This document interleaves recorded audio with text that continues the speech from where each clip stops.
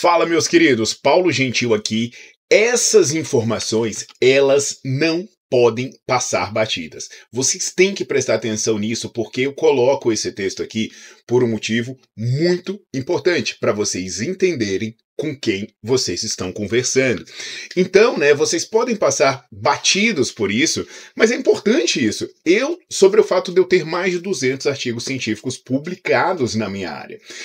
E por que isso faz sentido? Porque isso não é apenas a produção de material científico, isso está conectado com uma história. E a minha história, ela é prática. Eu comecei como estagiário na sala de musculação, eu fui professor de salão de musculação, eu virei personal trainer, eu coordenei academias e hoje eu sou um dos sócios de uma academia, uma academia em Brasília chamada Academia Malharte. E nesse percurso, né, nessa trajetória de mais de três décadas, eu treinei pessoas que queriam emagrecer, pessoas que queriam hipertrofiar, atletas de nível internacional, inclusive participantes de Jogos Olímpicos, inclusive tive uma salinha dentro de um hospital público para tratar pessoas com doenças crônicas, muitas doenças graves, usando o exercício. E uma coisa que eu aprendi né, durante todo esse período é que o conhecimento é essencial.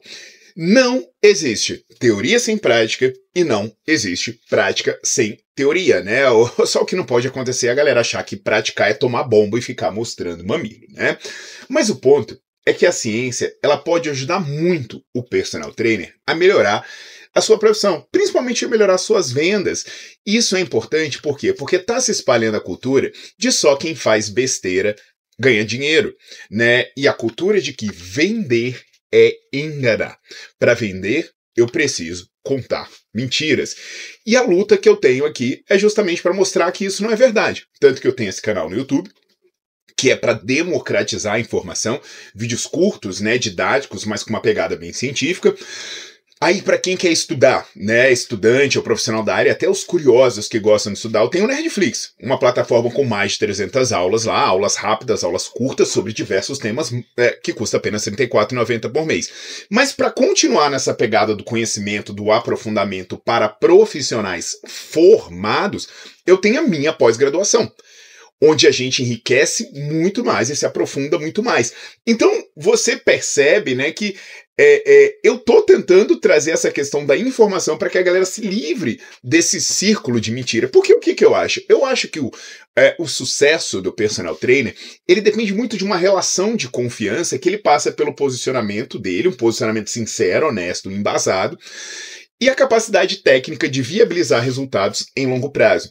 Então, toda essa história é para que vocês entendam o motivo pelo qual eu elaborei esse vídeo, que é para responder uma pergunta absurda, uma pergunta que está o tempo inteiro sendo feita, que é: quanto tempo leva para o resultado aparecer? Ok, decidi mudar meus hábitos hoje.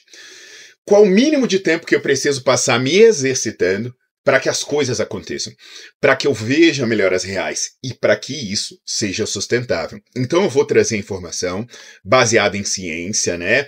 É, não vai dar para citar todos os artigos que estão embasando, porque é muito artigo, mas os que pontuam pontos nevrálgicos aqui, eles vão estar na descrição do vídeo, tá? Junto com a descrição do, da pós, do Nerdflix e até de como você se tornar membro do meu canal do YouTube.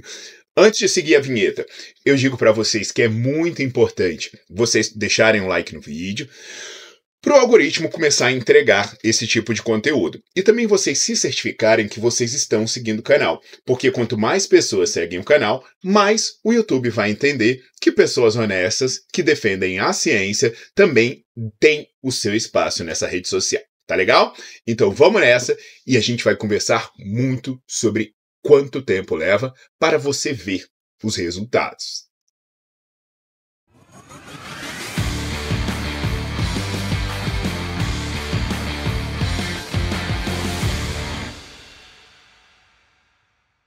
Então, vamos direto ao ponto, né? Quanto leva para se ver resultados? E aqui eu vou dividir é, em dois aspectos: o aspecto do emagrecimento, da perda de gordura, o aspecto do ganho de massa muscular. Esses são os aspectos que eu vou detalhar. mas eu também vou trazer informações gerais, né? Porque assim, obviamente, né, que dizer quanto tempo leva para ver o resultado depende do desfecho. Se você estiver falando em aumentar a força, né, pô, às vezes você vai ver muito breve. Mas se você estiver falando em alterações em, em mecanismos fisiológicos mais complexos ou modificações na composição corporal, talvez isso já tenha uma outra perspectiva. Quando a gente observa, num, num contexto geral, né, as pesquisas sobre emagrecimento, ganho de massa muscular e melhora em desfechos clínicos, elas, no geral, têm uma duração que vai de 8 a 16 semanas. Então, quando a gente fala né, em estudos com tempo para ter modificações quantificáveis, a gente normalmente está falando entre 8 a 16 semanas. Tem alguns estudos com 6, tem alguns estudos com 20, por aí, mas as avaliações normalmente ficam aí, entre 8 a 16 semanas. No entanto, né, é, se a gente pensar numa diferença detectável por instrumentos, é, e aí a gente pensar em refletir mudança perceptível de ver Dependendo, isso pode variar bastante. Por exemplo, ah, uma mudança numa bioimpedância, uma mudança numa fita métrica que seja relevante, que, terá, que esteja fora da margem de erro, isso pode aumentar bastante. Então, se você estiver pensando né, em dizer assim, ah, eu quero começar a fazer exercício e eu tenho um tempo para fazer ele sem parar, que é o tempo onde eu vou parar e olhar o caminho, né? Antes disso eu não posso parar. Porque o problema também é a galera falar, ah, eu vou fazer. Ah, não, deu quatro semanas, eu vou parar. Não, se você tiver que colocar na cabeça quanto tempo eu vou ficar me exercitando sem parar para que algo aconteça, eu diria para você assumir um compromisso de cerca de seis meses. É. E aí, por que, que eu falo seis meses? Por quê? Porque é, precisa ser algo sustentável. Que, na verdade, tem um outro problema sobre a questão da, da prática de atividade física e das mudanças que acontecem, que é a reversibilidade que as coisas elas são revertidas muito rápido quando você para de fazer, de treinar, para de, de manter as modificações dos hábitos. Por exemplo, você ganha peso mais rápido que você perde. Isso aí todo mundo sabe. Você leva um tempão para emagrecer, mas se você pisar na bola, largar as intervenções, você ganha esse peso mais rápido. Às vezes ganha mais do que perdeu. Músculo, você perde muito mais rápido do que ganha. Você fica semanas lá tentando, cara. Você pega uma gripe, faz uma viagem, você tem uma perda muito rápida. E aí, é, até mesmo em melhoras clínicas, né, isso é rápido. Por exemplo, eu tenho aula sobre hipertensão, né, no Nerdflix, e você vê que o exercício é capaz de reduzir a pressão arterial igual remédio. Só que quando a pessoa para, em poucos dias, né, às vezes você faz uma intervenção de semanas e essa pessoa fica com a pressão normalizada. Só que quando ela reverte os hábitos dela, em poucos dias ela volta a ser hipertensa. No caso do controle da glicemia, né, eu também tenho aulas falando sobre diabetes.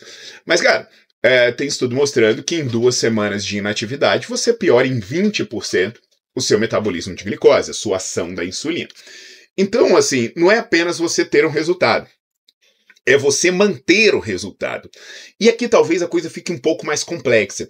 E aí a gente vai para estudos no campo da psicologia da mudança de comportamento. Nesse sentido, análises né, sobre quanto tempo leva para você tornar um comportamento automático e incorporar ele na sua vida, mostra que hábitos complexos eles precisam, em média, de 66 repetições sem grandes interrupções, rep eh, repetições periódicas, né, programadas, para que ela seja automatizada. Então, de repente, você está começando a fazer exercício e fala, nossa, mas isso é um sacrifício. Aí você vai conversar com pessoas que vão dizer assim, pô, mas para mim é igual escovar os dentes. Se eu não fizer exercício, parece que eu fico até triste, deprimido. Aí você fala, pô, por que, que eu não sou assim? Porque você ainda não adotou esse hábito de maneira consistente. Então, se você fizer essa conta de 66 vezes, pensar, ah, eu vou, é, é, eu me exercito três vezes por semana. Isso vai levar aí 22 semanas, o que dá aproximadamente 5 meses. Mas aí eu vou duas vezes por semana. Putz, aí isso já vai levar 33 semanas. O que dá cerca de 8 meses. E eu tenho uma aula bem bacana no Nerdflix explicando isso, né? Se você quiser se aprofundar. E, mas aqui eu posso te dar uma dica prática. Qual é a dica prática que eu tenho para te dar? É, adote mais compromissos com o hábito do exercício. Por exemplo, ah, mas eu tô indo na musculação três vezes a semana, eu vou na academia duas vezes a semana, beleza. Mas insira algum hábito que exija o compromisso com o exercício. Não, nem que seja fazer uma caminhada. de meia hora. Ah, Paulo, mas fisiolo fisiologicamente não vai me trazer grandes coisas, não, mas vai trazer grandes coisas na construção do hábito. Porque você vai se habituar a ter na sua rotina um, um momento separado por exercício físico, sabe? Isso aí é muito bacana você pensar. E aqui, né, é, é uma coisa que a gente precisa ressaltar agora, antes de eu me aprofundar nessas questões do emagrecimento e da hipertrofia, trazendo alguns estudos bem impactantes. A gente precisa se aprofundar nessa questão de vender projetos. Tipo, ah, Projeto perca 10 arrobas em 30 dias. Projeto vire Gisele Beach em duas semanas. Né? Projeto vire um monstro maromba pro carnaval. Isso é errado. Do ponto de vista fisiológico e do ponto de vista psicológico. Do ponto de vista psicológico é o que eu falei. Você cria um comprometimento de um pouco prazo que não vira mudança de hábito e vai ser revertido rapidamente.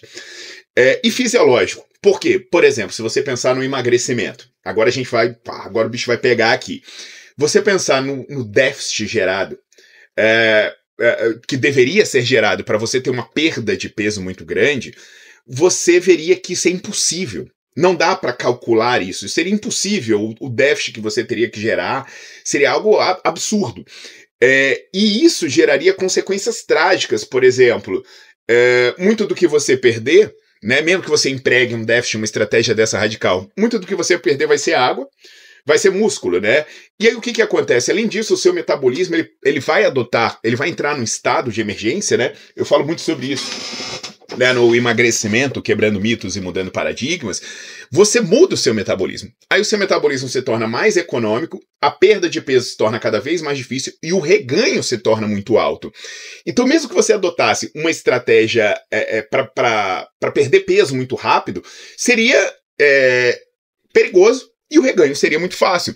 E aí a gente conhece muito bem o efeito sanfona, né? E, e assim, a, a mortalidade, quem vive perdendo e ganhando peso, é maior do que o de uma pessoa que mantém um peso estável, mesmo que isso seja um peso alto.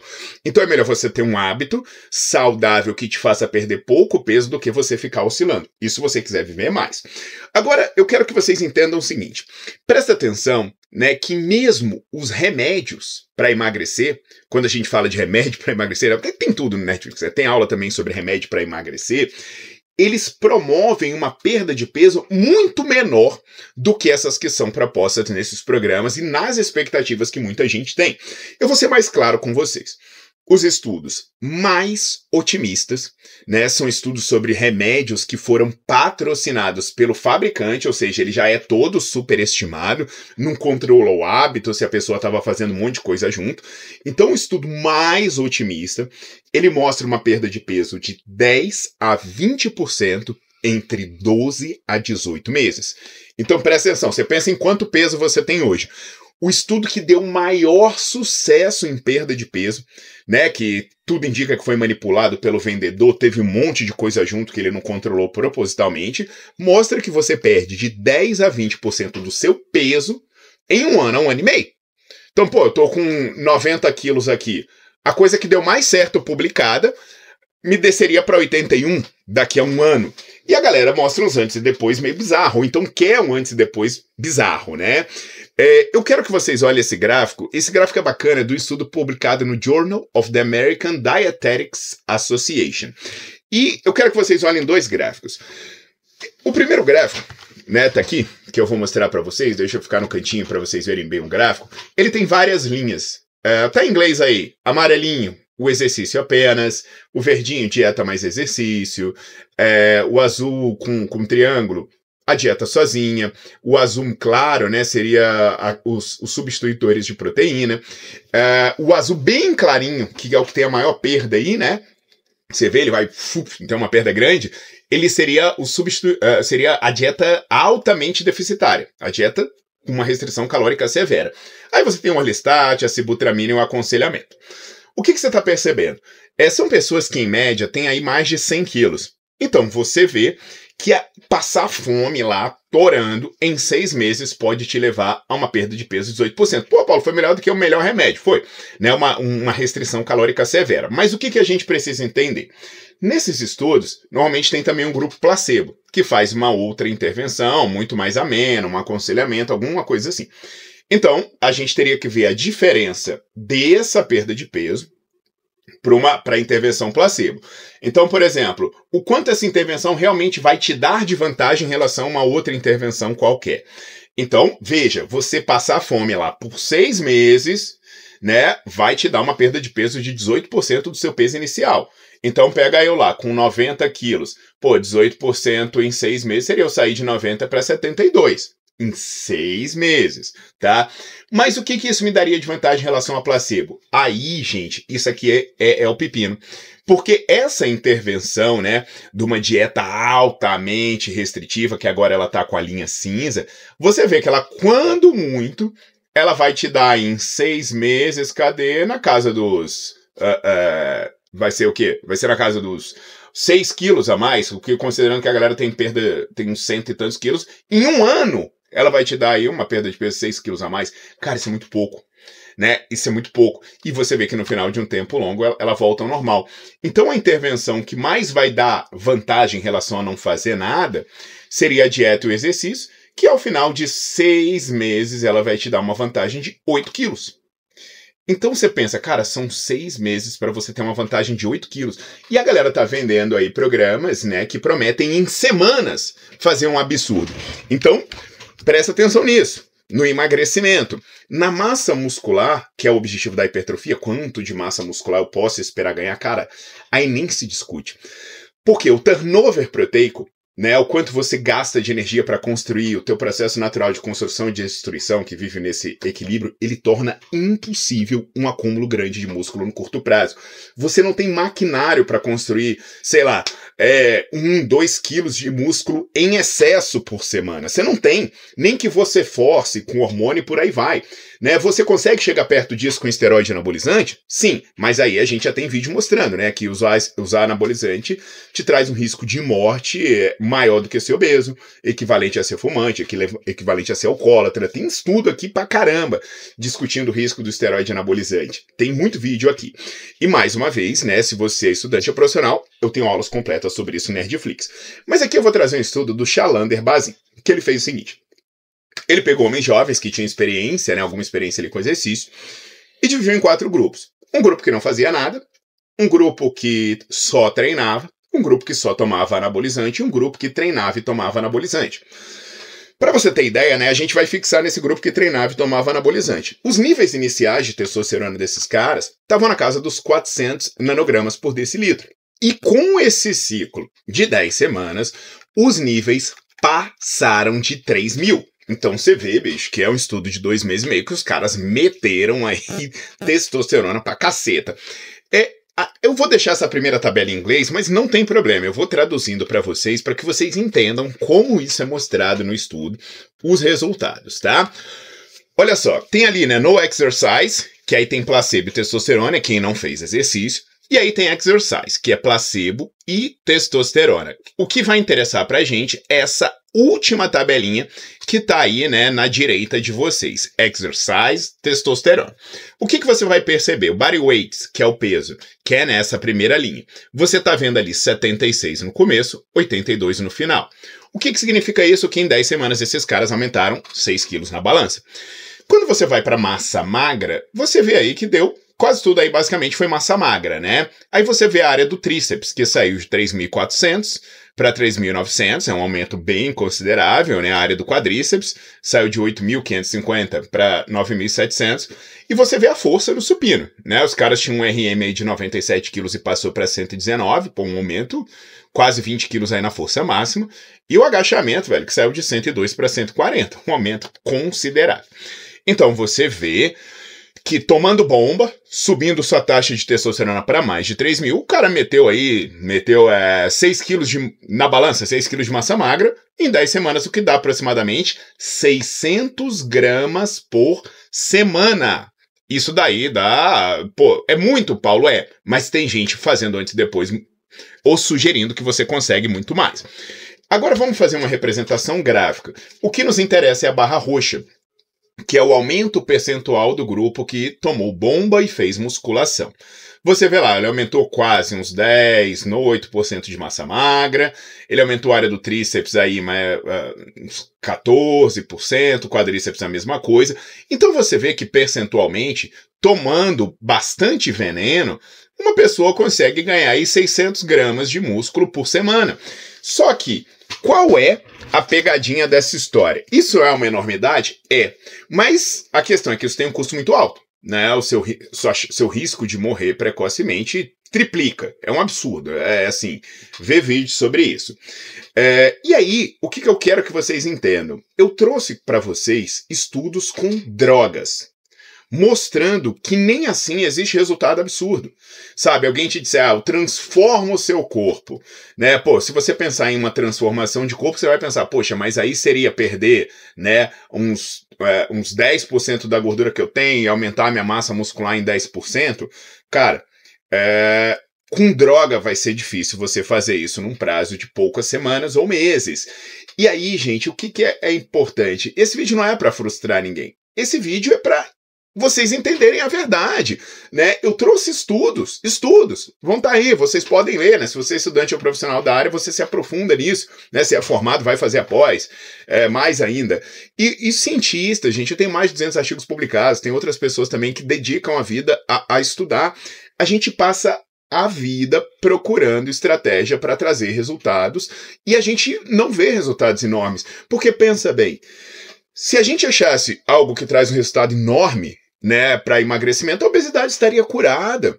Né, tava lá, a gente ganhando prêmio Nobel, famoso no mundo inteiro. Se achasse as melhores mentes do mundo estão aplicadas nisso. Se achasse algo absurdo para ganhar massa muscular, irmão, a gente ia ter atletas olímpicos, ia reverter quadros graves de doença. Mas a gente não acha. Então, se, se você é, é, é, se você não tiver paciência e não criar metas reais, você vai acabar se entregando a práticas perigosas, inclusive entregando a drogas. Isso vai lascar a sua saúde e ainda assim os resultados não serão tão bons e não serão sustentáveis. Então, se você é leigo, estabeleça metas factíveis e pense assim: não, beleza. Né? Quanto tempo vai demorar para eu ver resultados quantificáveis? Não, mete seis meses na sua cabeça. Se matricula numa academia, faz um plano de um ano e fala: eu não vou parar até chegar é, ao final dos seis meses. Antes disso, você não vai conseguir avaliar muita coisa. E qualquer interrupção que você fizer antes disso vai te dar problema, porque vai reverter e vai te botar num quadro pior do que você tinha antes. Agora, se você é profissional, seja honesto.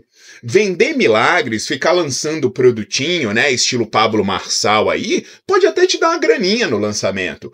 Mas lembre-se que a mentira tem perna curta e ela tem um preço alto você vai acabar se queimando e você não vai poder continuar no mercado porque você já vai estar tá sendo rotulado como charlatão. Se, se começar a fazer muita graça, até vai ter vídeo meu te detonando, aqui ou nas minhas outras redes sociais. Então a minha dica aí é: se você quiser se posicionar como um profissional de sucesso, né, e poder assumir compromissos financeiros em longo prazo com seus alunos, cara, seja honesto, faça planos coerentes, senta com seu aluno e fala, ó, é isso que a gente tem, você precisa mudar hábito, vai ser difícil no começo, não vai ser um mal de rosas.